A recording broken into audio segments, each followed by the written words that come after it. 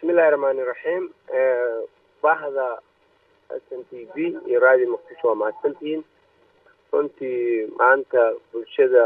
reer galguduud gaar ahaan simooyinka maanta cadowga laga xoreeyay waxay u tahay farxad gaara.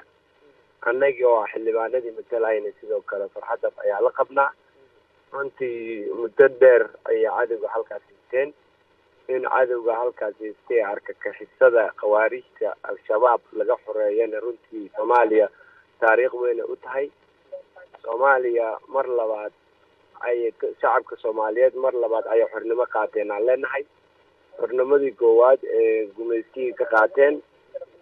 lixdankii iyo xornimadii labaad ee ka qaateen arkakixisada alqaacidada khawaarijta ee adduunyadao dhan caqabada ku ah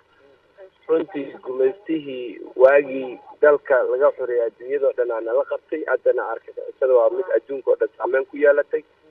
annagu farxad gaaray inoo tahay shacabka ahaan gobolka galguduud shacabka reer galmudug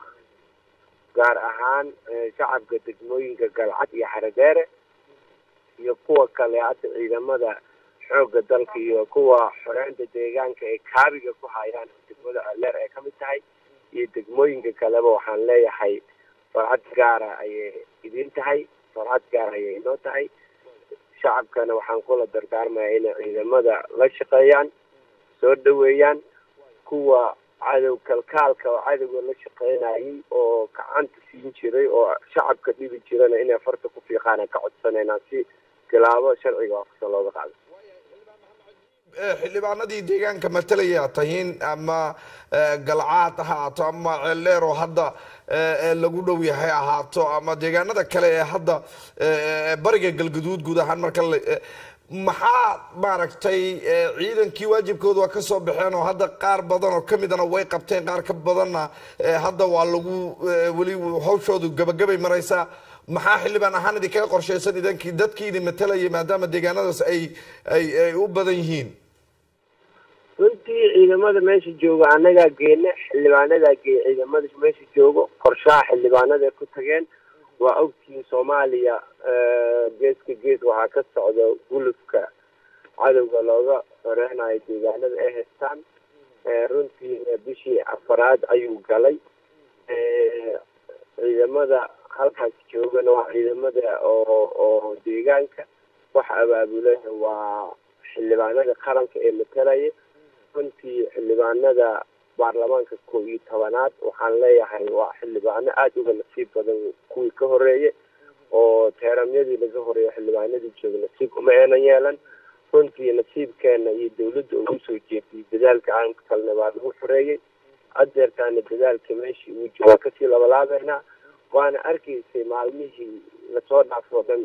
xildhibaanadeena waxaan wada taagnaa furanta. Adeertaana waan joognaa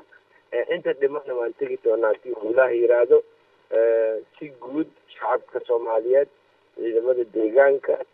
ciidamada oo stateka iyo kuwa federaalkaba waxaa waaye waa iska kaashteen dadaalkan hadda inta dhimana waa la iska kaashan doonaa haddii ilaah yiraahdo shacabka soomaaliyeed meel walba uu joogana waxaa ku dhiirigelinaya in cadowga alqaadada al-shabaab la iska xoreeyo cajiib mar baad ilaa maaragtay shabeellada dhexe deegaano badan ka tagtay meelihii la xoreeyey qaarkood tagtay dadka noloshooda soo aragtay ilaa galgaduud nolosha dadka muddo dhowr iyo toban sano ay argagixisadu haysatay. Maxaad ku qiyaasi kartaa maaragtay xaaladda dadka? Maxayse u baahan yihiin mar haddii laga xoreeyey deegaanadaas in waktiga ugu horreeya lala gaaro oo aad xildhibaanadiina u duubanaysaan maanta wixii ka dambeeya shacab u baahnaay meeshaas waa meel muddo dheer uu haysta cadowga argagixisada ah dhowr iyo toban sano ah. Wiilkii maalintii tabsadeen dhashan hadda waa qaangaar. Kii waa cadowga muddo dheer dhulkaas joogay shacabkaasi waxay u baahan yihiin dhammaan asiga ahaa ee bulshada u baahan adiga ahadeen caafimaad waxbarasha oo kala duwan leh waxay u baahan yihiin dhammaan adeegyada arrimaha bulshada gaar ahaan dawladdu waxay u baahan yihiin runtii anaguna ka ahaan annagoo kaashanayna dowladda federaalka iyo dowladda goboleedkaba waxaan ku hool jirnaa inaan sida ugu dhaqsiyaha badan emergency relief loo sameeyo oo mucaawinada la gaarsiiyo oo biyihii ay helaan oo waxbarashadii helaan iyo caafimaadka helaan aad iyo aad baad umahadsan tahay xildhibaan cabdirasaaq xusul. Ayaan rajaynayaa haddii uu kula joogo inaad noogu dhiibto isagana. Xildhibaan cabdirasaaq soo dhawow bal ka waran deegaanada laga xoreeyey ee bariga galgaduud iyo dareenka xildhibaanada si gaara deegaanadaas uga soo jeeda oo aad ka mid tahay.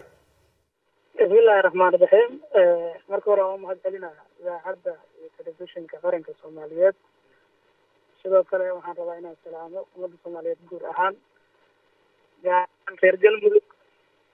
gaar ahaan bulshada degan bariga galguduud degmada galcad oo maanta ay u suuro gashay ciidanka dawladda iyo kuwa deegaanka oo isgarabsanaya inay si buuxda ula wadeega wareegaan degmada faxaweyn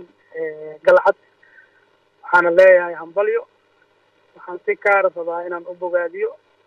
ciidamada xoogga dalka iyo kuwa deegaanka oo dadaal dheer ay bixiyeen kadib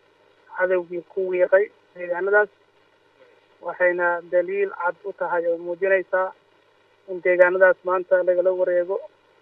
cadowga khawaarijta ah ee ummadda dhibaateeyey in cirib tirkoodii uu bilowday oo ay jabeen khawaarijta ugu dambeyn maxaad uga baaqi lahayd mujtamaca deegaanadaas ka soo jeeda gaar ahaan xildhibaanadii baad tihiin deegaankii haddii la xoreeyey maxaa tallaabo oo xigi doona oo aad ku talagalaysaan xildhibaan ahaan iyo xukuumad ahaan iyo dowlad ahaan maxaa talagal ku yahay? Bulshada horta deegaanka la xoreeyey ee cadowgu dhibaateynayey hambalyada kadib waxaan ugu baaqayaa inay ciidamada qaranka iyo kuwa deegaanka ay soo dhaweeyaan lana shaqeeyaan fartana ugu fiiqaan kuwii cadowgaas ka mid ahaa ama la shaqeynayay ama viberkaba u hayay. Intaba ay ciidamada garab iyo gaashaan ay u noqdaan. Runtii ka xildhibaan ahaan iyo dawladda guud ahaanba waxaa meeshaas nooga diyaarsan in dadkii ay barakiciyeen deegaanada dib loogu soo celsho dibadejin loo sameeyo adeegyadii kala duwanaa ee bulshada muddo shan iyo toban sana ah ay ka cuuryaamiyeenna meeshooda loogu geeyo sidoo kale in system ama nidaam loo sameeyo oo maamulkii degmada iyo amnigeedii iyo garsoorkeedii la geeyo ciidamaduna waxaan leenahay waad guulaysateen laakiin guushu waxay rabtaa in gacno adag lagu haayo